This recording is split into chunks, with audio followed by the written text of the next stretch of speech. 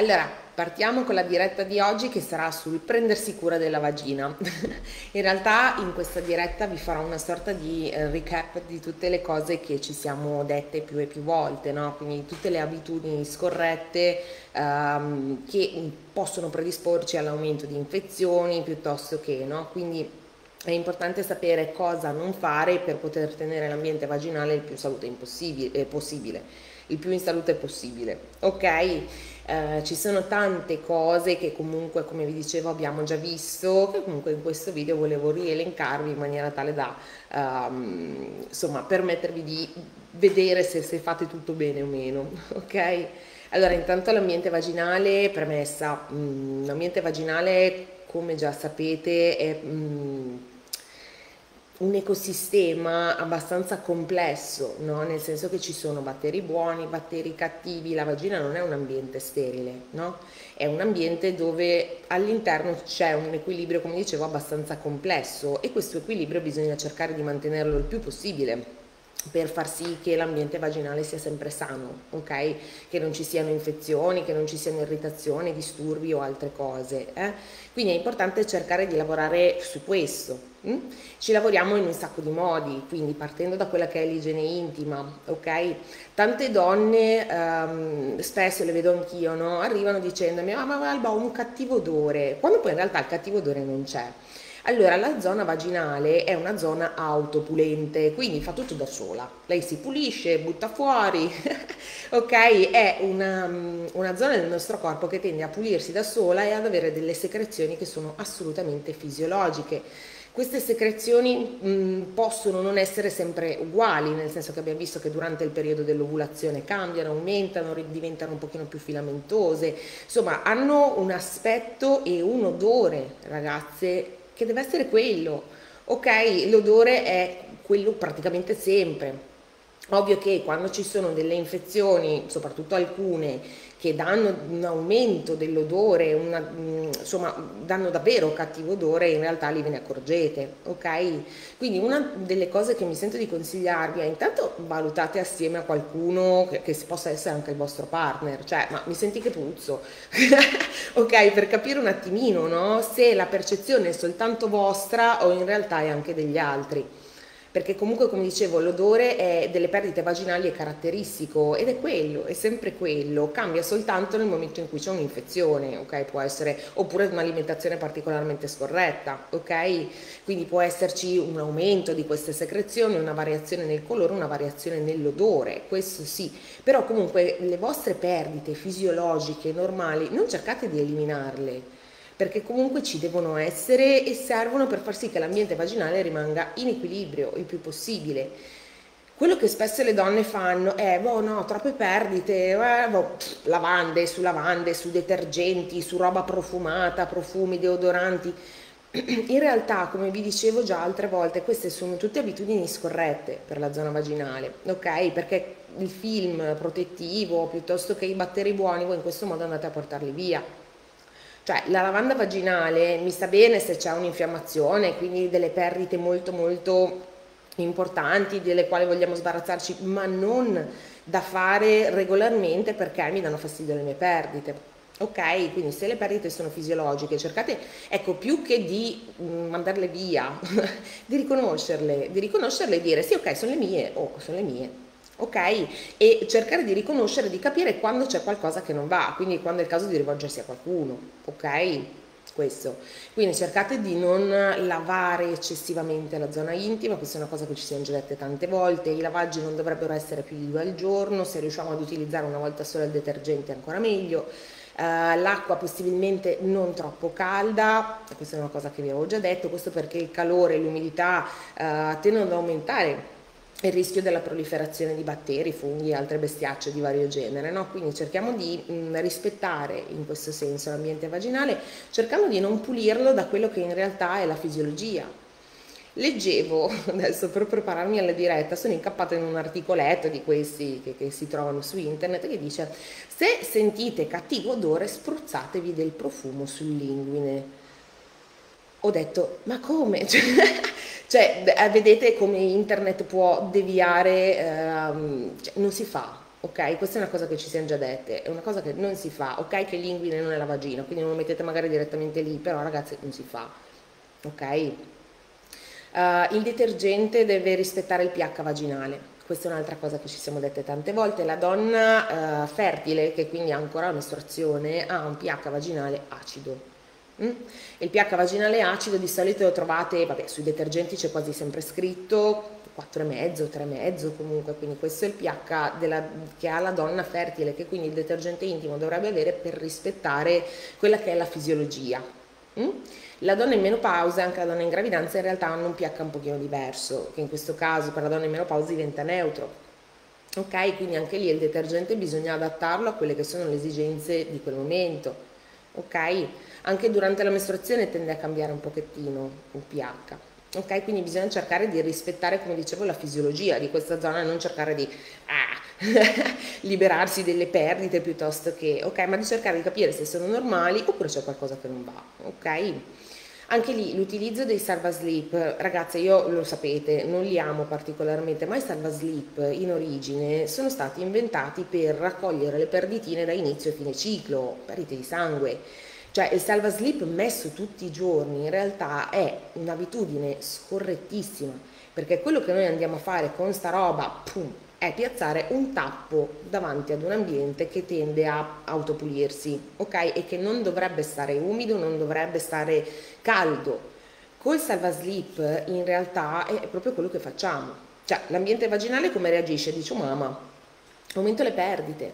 Io vedo tantissime ragazze che arrivano, perché non lo sapete, comunque io lo faccio sempre quando vi spogliate, guardo le mutande guardo le mutande per vedere se c'è il salva slip, ok? Comunque lo chiedo sempre, però in realtà io la prima cosa che faccio è guardare le mutandine per vedere se c'è. Tendenzialmente vi spiego che in realtà il portarlo tutti i giorni, al di là della mestruazione ovviamente, è un'abitudine scorretta. Questo perché si tiene la, la zona vaginale umida, calda, aumenta il rischio di, di infezioni ovviamente e la vagina tende ad aumentare le perdite. Giuro, nel giro di una settimana, se provate a togliere l'abitudine di mettere il salvaslip tutti i giorni, le perdite si riducono. Ok? Perché di solito la risposta delle mie ragazze quando dico hai l'abitudine di usare il salvaslip? Sì, perché ho le perdite. Quando in realtà magari poi le perdite non ci sono. Eh? Quindi cercate proprio di liberare, perché poi è un'abitudine, no? Quindi cioè ho l'abitudine di metterlo perché mi sento più pulita. Mm. Quindi cerchiamo proprio di liberarci dell'abitudine, piuttosto se le perdite sono davvero così abbondanti, di cambiate le mutandine una volta in più, qual è il problema? Ok? Quindi in questo senso cerchiamo di stare un pochino di, di dietro anche a questo discorso. Ovviamente gli indumenti, la biancheria intima, come abbiamo già visto altre volte, se fosse in cotone sarebbe l'ideale. Grazie. um, se fosse in cotone sarebbe l'ideale, ok? Quindi questo non usate indumenti o comunque biancheria particolarmente, mh, mm, cioè con colori particolarmente importanti piuttosto che tessuti come il licra, insomma tutti quei tessuti elasticizzati e non di cotone che possono aumentare ovviamente il rischio di infiammazione. Quindi se riusciamo ad usare il cotone sicuramente molto meglio. Ok? Un'altra cosa eh, che volevo dirti in questo, dirvi in questo senso è mh, mm, non usate lubrificanti a caso, cioè attenzione all'attività sessuale che per quanto eh, meravigliosa possa essere non è esente da rischi per l'ambiente vaginale, ok? Intanto il discorso del lubrificante. I lubrificanti, vabbè, sono utilissimi soprattutto nei casi di secchezza piuttosto che per il sesso anale, piuttosto, ma eh, esistono dei lubrificanti specifici ok? Cioè, non vado a prendere il panetto di burro piuttosto che, cioè, cerchiamo di usare delle cose, perché comunque succede, cerchiamo di usare delle cose specifiche per l'ambiente vaginale, per l'ambiente anale, perché comunque ci sono dei lubrificanti specifici anche per, la, per il sesso anale, ok? Quindi di usare un qualcosa di specifico come lubrificante, non usate roba a caso, perché comunque la roba a caso in realtà insomma, può potenzialmente modificare il pH e predisporre ad un rischio maggiore di infezioni. Ok? Uh, io amo molto gli oli, uh, gli oli i più naturali possibili in realtà, questo perché l'olio ha il potere di rendere morbido di rendere scivoloso, eh, di ridurre l'attrito no, durante il rapporto. Va da sé che non tutti gli oli sono utilizzabili durante il rapporto perché alcuni non sono, grazie Roberta, eh, perché alcuni non sono compatibili col profilattico. Ok, quasi tutti gli oli in realtà non sono compatibili col profilattico. Mm? Però quando il profilattico non viene utilizzato, e questo deve succedere solo quando il partner è fisso e ovviamente non si tratta di rapporti occasionali, perché nei rapporti occasionali, altra cosa per far stare bene la nostra vagina è usate preservativo. Ok? Quindi i rapporti occasionali, sempre il preservativo, generalmente sono già lubrificati, quindi non c'è la necessità di aggiungere ulteriore roba. In ogni caso gli oli spesso non sono compatibili, ma i lubrificanti a base acquosa sì. Ok? Comunque generalmente sul lubrificante c'è sempre scritto è eh, compatibile con l'utilizzo del profilattico piuttosto che, quindi fate sempre caso anche a questa cosa. Ok? Quindi il lubrificante giusto, il sesso protetto l'abbiamo visto, il sesso protetto è importantissimo perché in realtà utilizzare il profilattico è l'unico modo, lo sapete, per prevenire le malattie sessualmente trasmesse. Ok? Partendo dalla candida, arrivando alla gonorrea, alla clamidia, alla sifilide piuttosto che il papillomavirus. Cioè è l'unico modo per prevenire malattie sessualmente trasmesse. Quindi l'utilizzo del profilattico nei rapporti occasionali, ragazze, sempre cioè, se non ce l'hanno loro, adesso che è periodo di mare, spiaggia, amori, be- bene, cioè va benissimo, fatelo pure, ma cercate di rispettarvi sempre. Ok? Perché comunque è una forma di rispetto che avete nei vostri confronti, nei confronti della vostra salute, nei confronti della salute della vostra vagina. Ok? Se non ce l'hanno loro, portateli voi Ok, quindi due preservativi in borsa da, da, averceli sempre dietro in maniera tale da poter far fronte ovviamente anche a queste situazioni. Ah, ma no, non ce l'ho, non usiamolo. Nine. Cioè, no, il preservativo, come dicevo, sui rapporti occasionali deve essere usato. Ovvio che poi sulla coppia di lunga durata piuttosto che allora c'è una fiducia reciproca. Uh, so che tendenzialmente io vengo solo con te, tu vieni solo con me, quindi in linea di massima non dovremmo avere grossi problemi in questo senso, anche se a volte succede anche lì. Uh, però rapporti sempre protetti. Uh, un'altra cosa che volevo dirvi è uh, riguardo proprio la salute della, della, vagina, in realtà riguarda la depilazione, che è un argomento che forse non abbiamo mai affrontato nello specifico, però qui si parla più di vulva che non di vagina, non sapete che la vulva è quella che sta all'esterno. Io adesso genericamente sto dando informazioni su come mantenere in salute l'ambiente, ovviamente vulvare esterno e quello vaginale. Ok? Um, la depilazione, ragazzi, è importante, nel senso che comunque, vabbè, ogni metodo ha i suoi pro e i suoi contro. Okay? Fondamentalmente di metodi ce ne sono tre, quattro, adesso, adesso, li vediamo comunque. Intanto la depilazione con rasoio, partiamo da quella più semplice, rasoio crema depilatoria. Allora, crema depilatoria sulla vulva direttamente non si mette. Con rasoio fate molta, molta, molta attenzione perché comunque il rischio di lacerazioni, di taglietti, di è abbastanza alto, quindi se utilizzate questo metodo mi raccomando fate molta molta attenzione, guardatevi sempre con uno specchio, onde evitare, grazie Gianna, onde evitare di tagliarvi e farvi del male e aumentare il rischio di infezioni, perché comunque quando c'è una ferita aperta, fum, tutto quello che c'è nei paraggi ovviamente ci entra, ok? Quindi questo comodo, veloce, però mi raccomando. Mm?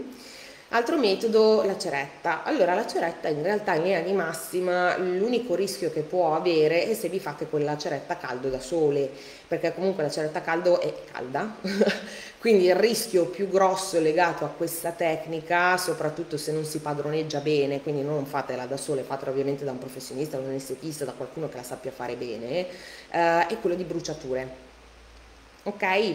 Quindi mi raccomando in questo senso, allora per me è uno dei metodi migliori per depilare la, la zona vulvare, linguine, piuttosto che questo perché comunque se fatta bene, fatta correttamente, non fatta con la ceretta 88 gradi, in realtà 88 per dire, però non particolarmente calda, in realtà è uno dei metodi migliori, questo perché comunque mh, mm, non si creano taglie, non si, cioè, in linea di massima è un metodo abbastanza tranquillo, ok?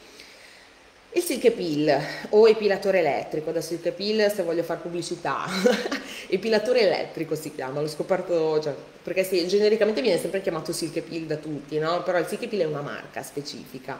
Uh, però l'epilatore elettrico, uh, vabbè, anche questo si può utilizzare, però fate molta attenzione ragazze, perché comunque è abbastanza aggressivo come metodo, uh, bisogna saperlo utilizzare e sulla zona vulvare non è indicatissimo, nel senso che comunque ehm, sapete cosa fa? L'epilatore elettrico, cioè ci sono delle pinzettine che strappano i peli uno alla volta, che girano, ok?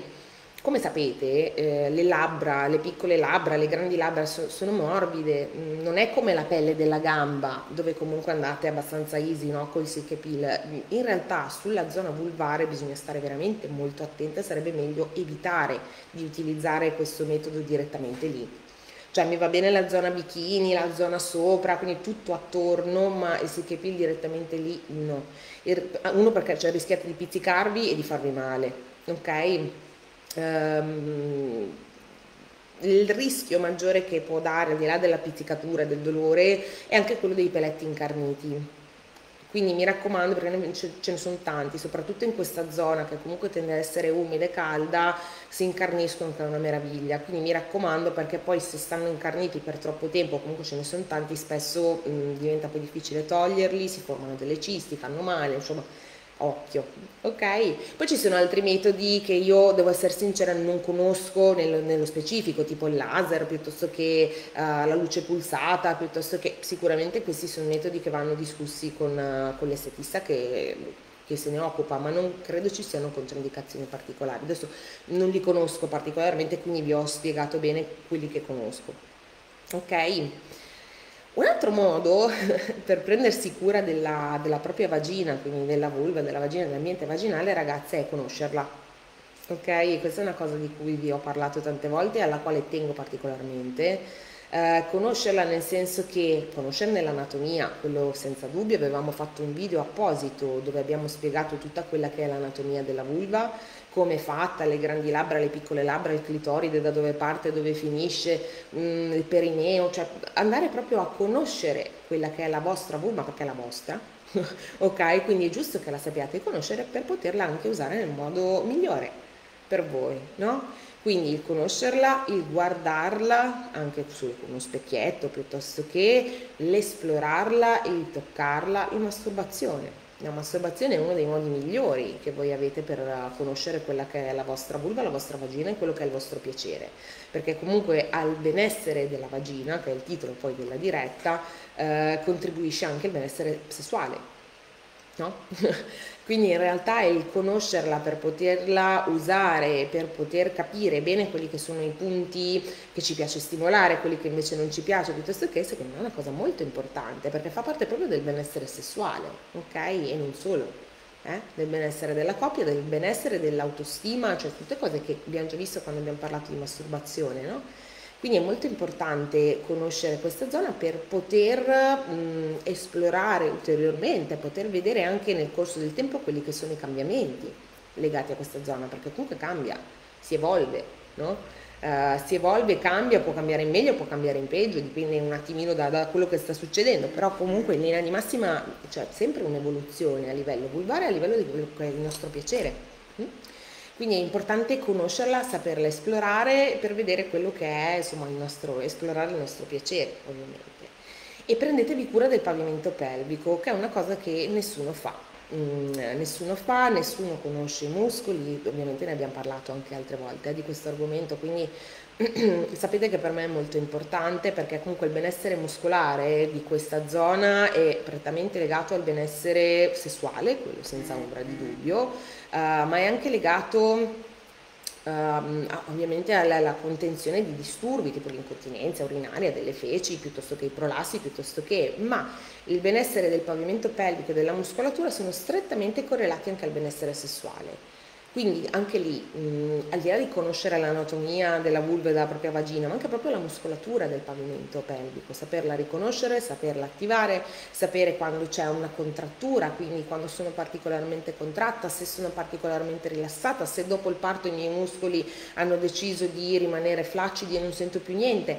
Cioè, imparate a riconoscere quello che il vostro corpo, la vostra vagina vi stanno comunicando, perché comunque lo fanno ok? A modo loro, ogni donna a modo suo, ma comunque lo fanno, quindi questo è importante.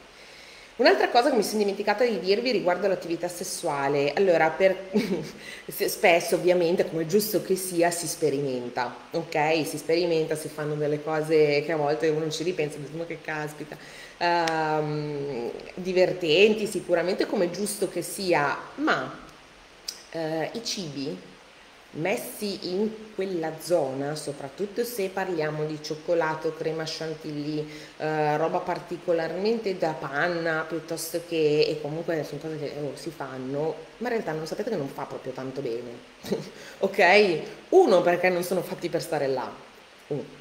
Punto secondo per l'alto contenuto di zuccheri, ok? Sono ovviamente cose particolarmente zuccherate che come sappiamo l'ambiente vaginale non vanno tanto d'accordo, ok? Rischiamo di alterare il pH e rischiamo di crearci delle infezioni in questo senso. Oltretutto alcuni alimenti possono cioè, non essere proprio compatibili, creare irritazioni anche esterne.